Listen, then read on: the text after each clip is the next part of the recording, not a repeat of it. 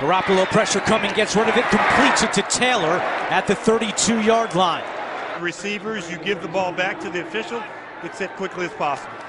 Garoppolo over the middle, wide open. It's Kittle, the tight end, all the way to the 45. Bringing five, you got holes in your secondary. Another quick pass. Marquise Goodwin has it. And San Francisco already in field goal range. Kick on the way, down the middle, and Gould is good at the buzzer. John Lynch and the 49ers keep it rolling. Their third straight win.